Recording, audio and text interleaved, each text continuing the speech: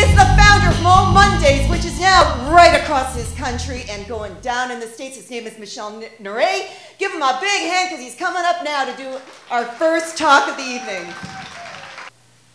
And at Mo Mondays, you get the truth. So I'll tell you the truth. Truth is, when we started Mo Mondays, it was just an idea that uh, somebody planted in my ear. It's like I was at a stand up comedy show. One of the other speakers leaned over and said, Michel, it would be cool to do something like this, but with speakers. And I said, okay, great idea. And so we did it. And what we found was that the public caught on. It's like they don't get a chance to go to conventions and conferences, see you know, great speakers get motivated the way that I've, I've, I've been on stage, I've shared the stage, I've been in the audience, phenomenal speakers. You don't get that experience very much. And what I found is what we were missing was hard. Sure, there are plenty of networking events you could go to, great events where you could get, where you could see experts and listen to experts talk on all kinds of different topics. Get into the minds of brilliant people, but where do you get a chance to get into people's hearts? but we have the opportunity to work too. So uh, the first time, I can tell you the first time I left Lebanon, how hard it was.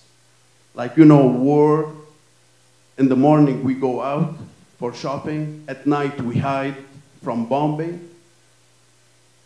We don't see people, lots of people, they go shopping and they do whatever normal people they do over here in Canada. You're not gonna understand me un unless you, you, you live that life. So the first time I went to Europe, I looked all around the next day morning. I see people walking afternoon, which is something strange, happy, laughing, walking everywhere. They're not scared of anything. So that's the real life. That's what I was looking for. But I didn't get the chance to, uh, to work that a lot of things that are impacting on us in our society are social. And so a lot of the things that we did from a war on poverty standpoint where government or social service agencies try to impose things from on top in the last 20 years have not been successful. But you've probably read the research. If you, if you hang out with people that smoke, what do you do? You tend to smoke. If you hang out with people that overeat, you tend to overeat. You, if you hang out with a group that are into violence and drugs, you'll tend to be in a violent, gang-oriented community. If we change our attitude and think about some of these things as social diseases or having a social impact, then we come to the realization that if we want to make change, we actually have to change the whole community. We can't just change one person. And the, the attempts by government and social service agencies to try to change the one person haven't been nearly as successful. Regent Park is one of the examples that people often uh, look at, and this has been tried across Canada, across the United States.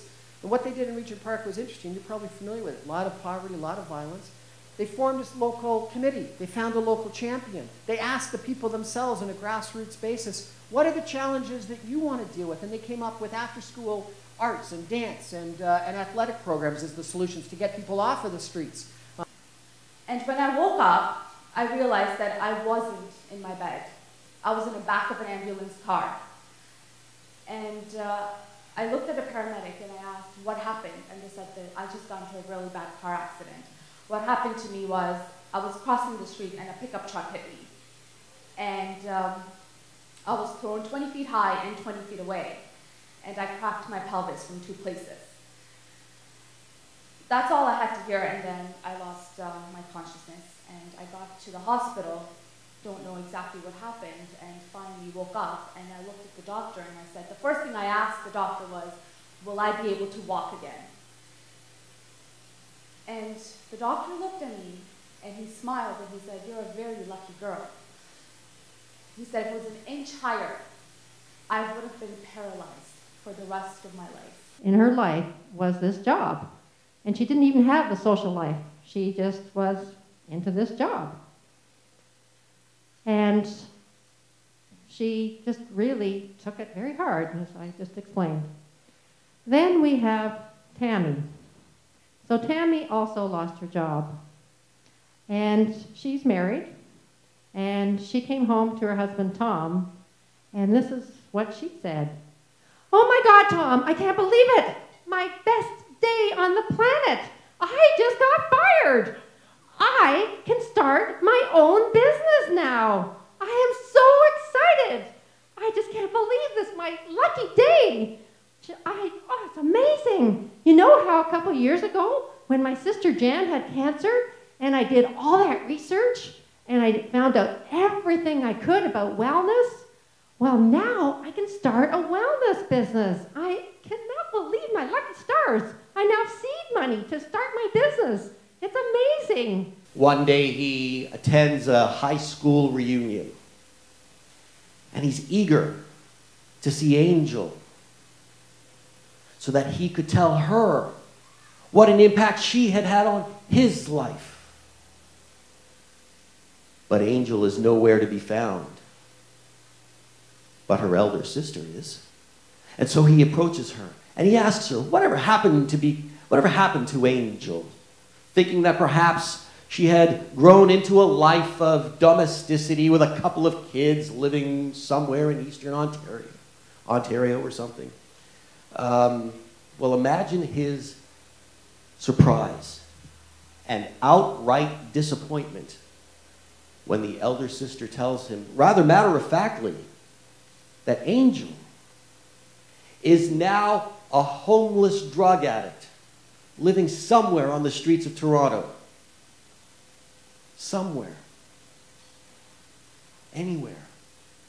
Nowhere. I'm not sure if you see how that could be a problem.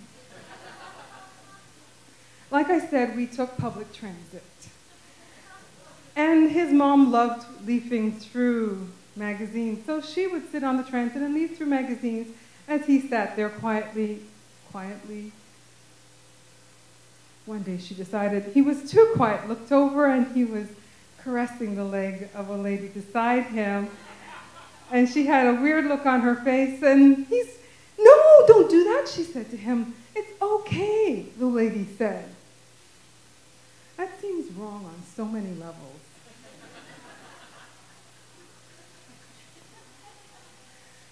But the thing that I love influencing my little grandson with is hugs and love.